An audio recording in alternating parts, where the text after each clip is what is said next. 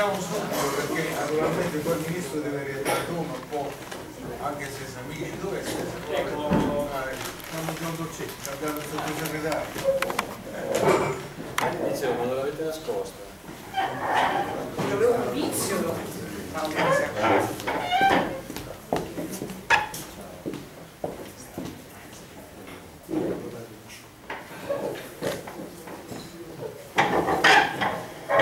Prendiamo, sì. Sì, allora salutiamo ovviamente il Ministro del Rio e lo ringraziamo per la presenza in questo nostro convegno e diamo inizio subito, diamo subito in media stress con l'intervento di Francesco per quanto riguarda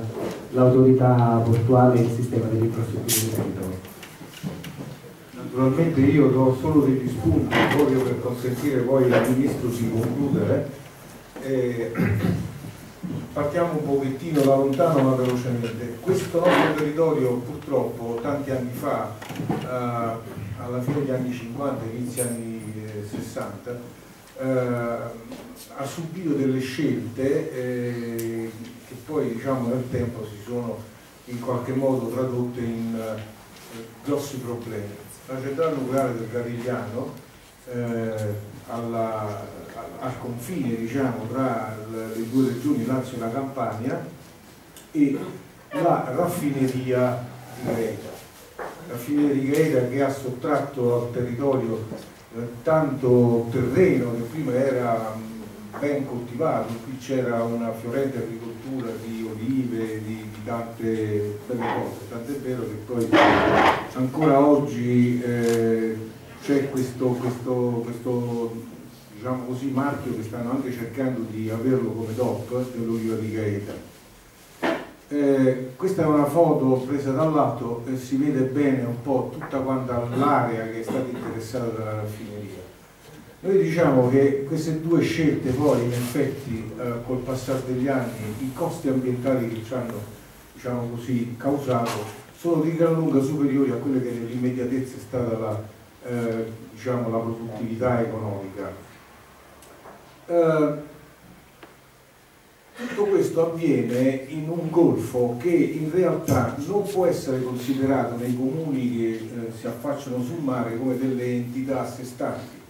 Ormai tra il comune di Gaeta, che eh, io indico con la freccia, il comune di Forni, anche di Minturno, c'è una eh, continuità eh, e quindi noi dobbiamo parlare di conurbazione, cioè in pratica eh, dove finisce il comune inizia subito l'altro. Questa foto eh, che è stata presa qui a Formia um, evidenzia il, uh, questo colore marrone che è diciamo, dovuto all'inquinamento di un'alga perché è vero che è finita la raffineria con la centrale nucleare però sono cominciate tante altre attività che a nostro avviso non sono compatibili con la vocazione diciamo così, balneare e turistica di questo comprensorio per cui mi riferisco per esempio a degli allevamenti che vengono fatti eh, di allevamenti di pesce, ecco vede Ministro, questa è un'area un eh, diciamo, di centinaia di migliaia di metri quadrati di mare che è interessata da coltivazione dei nitidi e da queste vasche eh?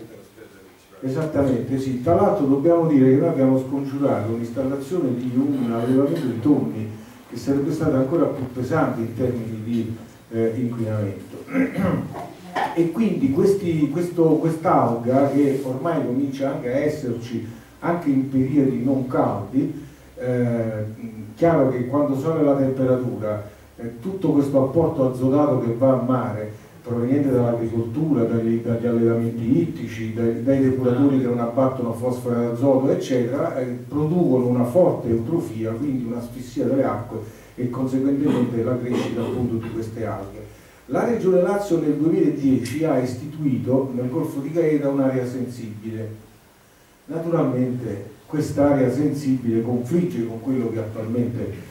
dire, si fa ancora nel nostro Golfo. Questa è la diapositiva che fa vedere il porto commerciale di Gaeta, ancora diciamo, in completamento, e qui si vede un pontile petroli dove attracca una petroliera che scarica eh, benzine. Perché attualmente la raffineria non raffina più ma è diventata una, una, una sede di stoccaggio strategico con circa 2 milioni di tonnellate di carburanti che vengono stoccati lì e che poi vengono trasferiti su eh, il, le, i rifornimenti di Roma e di Napoli, sarebbe la Kuwait. La Kuwait, eh? Sì.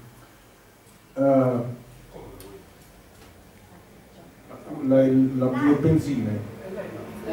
Sì, l'ENI che gestisce, ma poi dopo distribuisce le benzine a diversi gestori. No, L'ENI, sì, no, la Kuwait sono i, i, i rifornimenti che stanno a Roma e Napoli, la, la, la raffineria è gestita dall'ENI.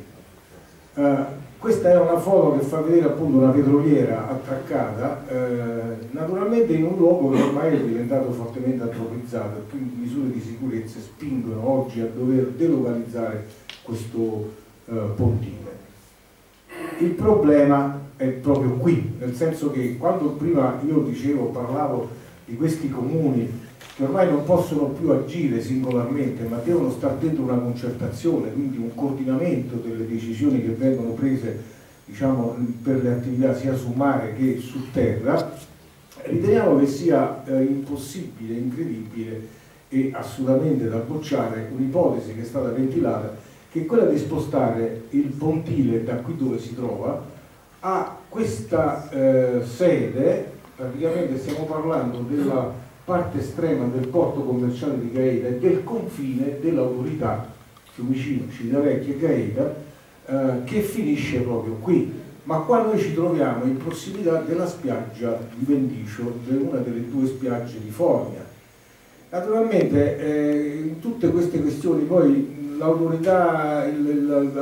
portuale su Gaeta fa anche lavori che magari esulano dalla sua funzione specifica perché noi vediamo anche marciapiedi, piazzette, cose eccetera, ma il problema principale che naturalmente a noi sta molto a cuore è evitare che possano essere prese delle decisioni singolarmente all'insaputa o comunque a discapito degli altri comuni del Golfo.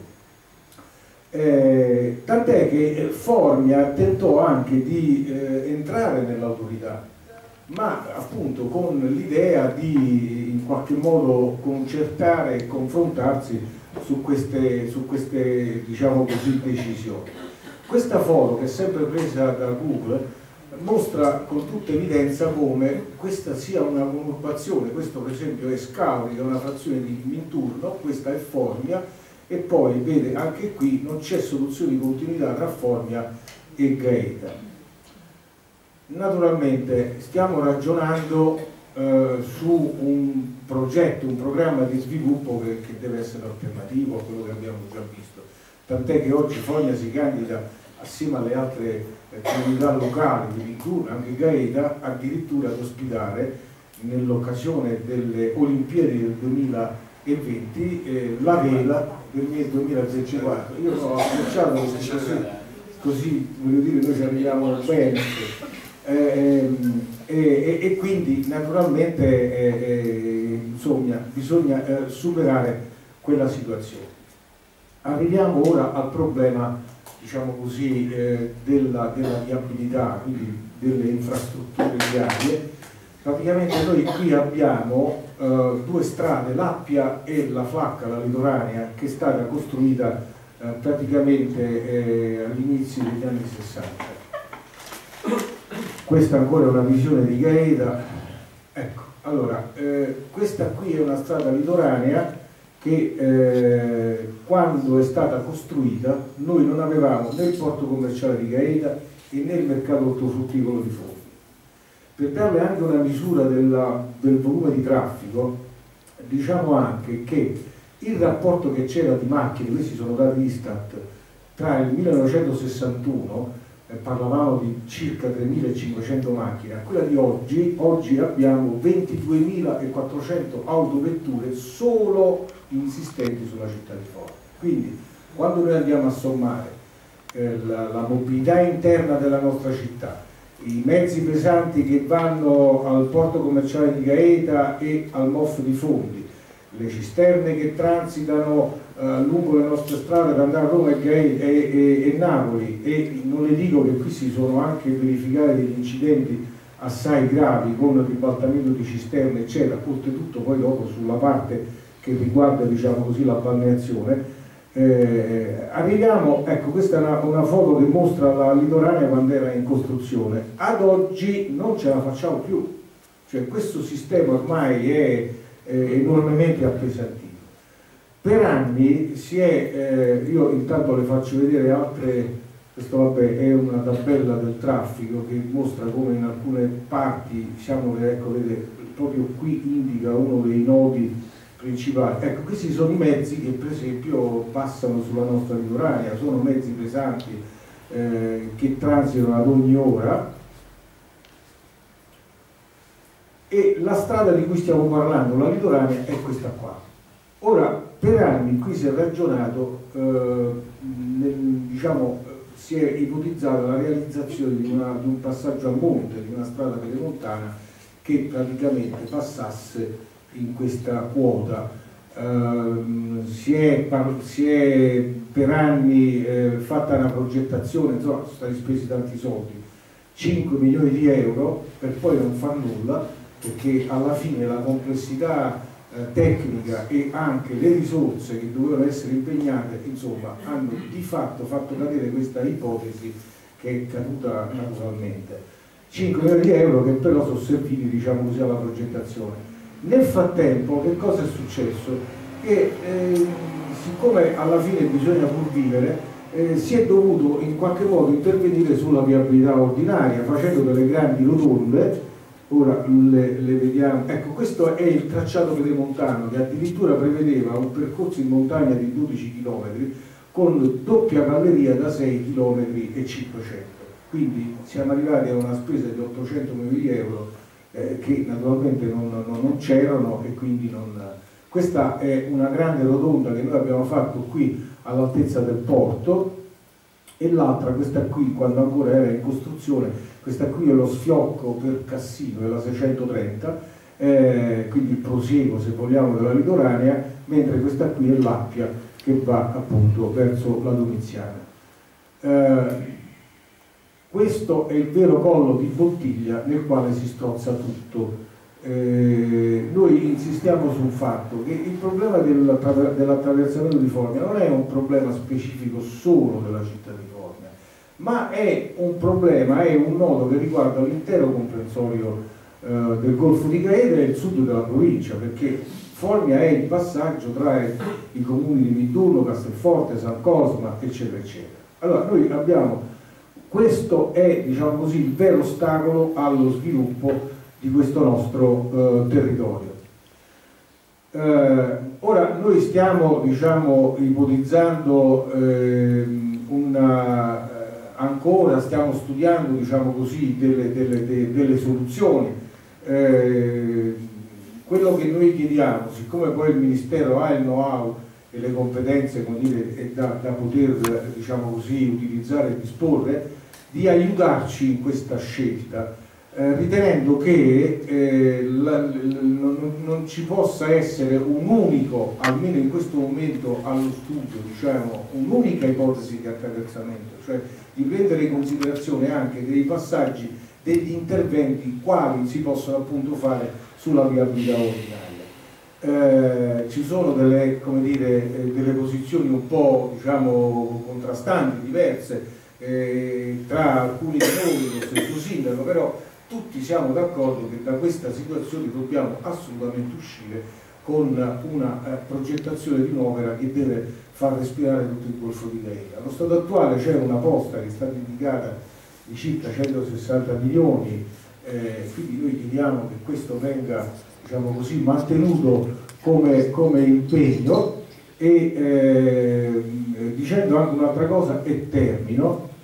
le perplessità rispetto al passaggio pedemontano perché in pratica comunque questa strada andrebbe a passare praticamente sul bacino imbrifero delle sorgenti Mazzoccolo che sono sorgenti che danno l'acqua ai comuni di Foglia e di Gaeta. Quindi è un passaggio estremamente delicato. È chiaro che comunque oggi disponiamo di soluzioni tecniche che una volta non c'erano però comunque io sostengo che è una strada sporca in ogni caso e quindi poi eventuali anche incidenti sono pericolosissimi se dovessero avvenire su questa parte qua. Però comunque questo, questa cosa va studiata e eh, termino dicendo che eh, Abbiamo bisogno quindi di questo passaggio e abbiamo bisogno anche del fatto che Formia, che è una città che è nata sul mare, Formia ha circa 3500 anni perché qui è stato anche ambientato, ahimè, una eh, dire, storia un po' sciagurata, arriva Ulisse con le navi ma viene aggredito dai lestrigoli che si dice appunto si vissero in questa zona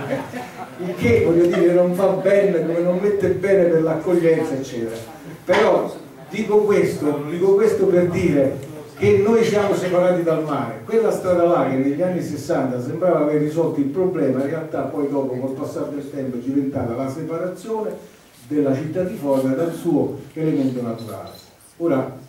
io ho concluso, eh, posso do la parola al sindaco se, appunto, perché il permesso c'è. regalo, noi veramente saremmo grati